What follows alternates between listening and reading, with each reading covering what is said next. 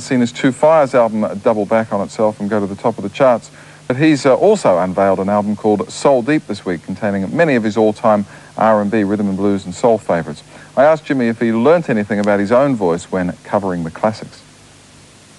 A lot of singers these days spend far too much time making things bloody perfect, you know, and lose a lot of character. You know, when you when you listen to some of the stuff like um, "I Found the Love," which I've done, the original version of that is Wilson Pickett, and uh, his version, like he's by the end of the song, he's just completely clapping out. His voice is croaking and his mic's breaking up, you know.